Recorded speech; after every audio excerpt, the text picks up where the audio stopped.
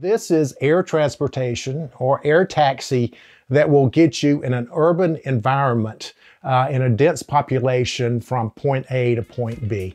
Uh, basically, an hour trip in either Atlanta traffic or New York or LA uh, could be cut down to about maybe uh, seven to eight minutes.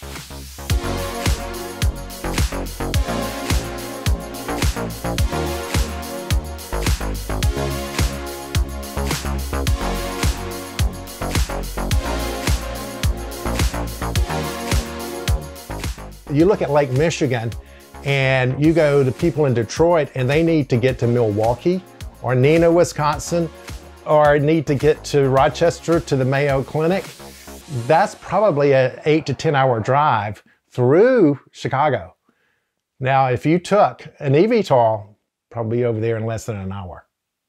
So it's applications like that that we are looking for for use cases and what's the concept of operations on how you build that. We have these things called eVTOL, which is uh, uh, vertical takeoff and landing electric. Okay, so they're battery powered, possibly hydrogen powered one day. So these things take off like a helicopter but then once they get up to a certain level of AGL, which, which we call ground level, uh, they go horizontally. And you save time, you save space, but you've got to make sure that you don't have uh, confliction in the air with the other airplanes and helicopters and drones. Uh, and we call that deconfliction. So the airspace is one of the most important things that we're working on from a technical perspective.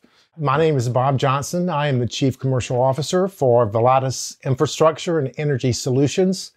We are an advanced air mobility company that are putting uh, drones and flying taxis uh, in the air for transportation and to save lives. We build the actual hardware infrastructure. So we're building the launch pads where they can take off and land my career over 40 years has been in building infrastructure for telecom companies, for utilities, uh, working with robotics. And this was a way to solve a problem. Uh, and this was a way to help to get to net zero of emissions and carbon.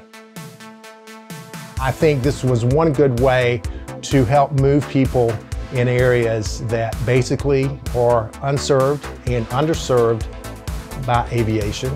This is not a, uh, a one thing that fits all. It's basically complementary to the transportation system.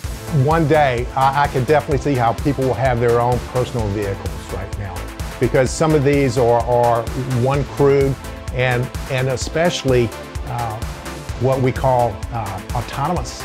Uh, the, the best thing about this is we're not going to have a pilot on board because it's going to be fly-by-wire. It's going to be fly-by-computer. And so that's going to give an extra seat to someone. When you think about emergency services, you think about the interstates that we have, the, the crashes that we have, the, the lives that we're losing just on the U.S. highways. Instead of flying the patients to the hospital with, with a helicopter or life service, with AAM, we bring the doctor to the accident. We can save lives at the accident. And seconds are very precious, as we all know. That is one of the best things about AAM. That's why uh, emergency services is going to be one of the leading use cases uh, that we're looking at right now. I, I, think one of the things that, that we can do as, as ordinary citizens right now is to take part in the demos, take part in these air shows, understand that this is for good, not for bad. Uh, I think one of the biggest uh, uh, challenges we all have is a lot of people will think this is for the rich and the affluent uh, because the price point may be a little bit high uh, when we first, but you've got to scale that. And when you realize that what this is all about is not for the rich and the affluent, it's not for the, the business jets.